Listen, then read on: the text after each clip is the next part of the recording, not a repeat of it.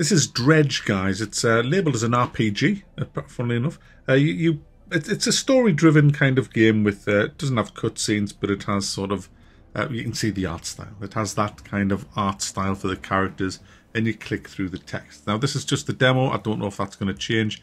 I, I doubt it. It, it kind of works just as it is. Quite an atmospheric little game, but um, I don't know if it's my cup of tea or not. Uh, anyway, what you do is you're a fisherman, you come to this island, and this, by the way, is the prologue to the game. Uh, it's from Team 17. It's You can get the demo to play this bit for free. But anyway, you come to this island as a fisherman. The last fisherman mysteriously died.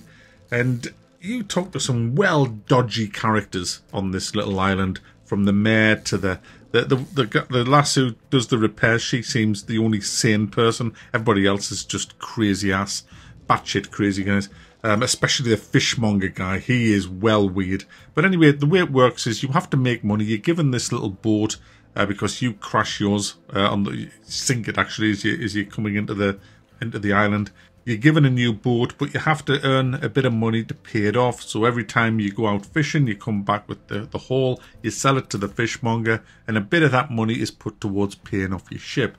Now, the demo has upgrades that you can find, but you can't equip them, um, which is a bit of a shame and a bit stupid. Why can we equip them? If, yeah, never mind. But you will find you'll get these research research modules uh, that you find, but you can't do anything. It says it's locked out of the demo, but you will be able to in the full game upgrade your ship to make it um, hold more cargo, have lots of gizmos on it and gadgets that, that'll help you through the game because you're going to need them because all is not what it seems, guys. This isn't just a a trawlering fishing game. You have to dredge, hence the name Dredge. Uh, a little further on in the story, you get your ship kitted out uh, with a dredging uh, kit. And like the fishing, it's a little mini game. The fishing and the dredging are just mini games. And you go around looking for little ripples in the water that could be fish or could be uh, shipwrecks, and you position yourself over them, do the little mini game, and haul in all the stuff that's there.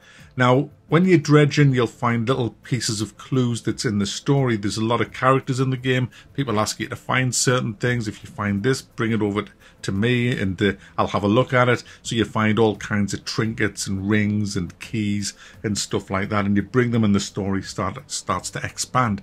Now, the big thing to watch for in this game is nighttime because it goes weird at night. The fog comes in and it looks really atmospheric and you can't see shit in front of you. You do have a little light on your ship, but you you can't really see and things start going mad. You start hallucinating. Rocks start appearing in front of your ship and if you hit them, obviously you're going to take damage. And there's an anglerfish with a light on its head that will wreck you. Absolutely wreck you if it if you can't get out of the, the darkness. So you kind of you want to head back to shore as the night time comes in because it does get freaky, but there's a good reason to be out in the night. A lot of different types of fish spawn during the night that are quite valuable, so you do want to be out there, but be careful, don't wander too far off.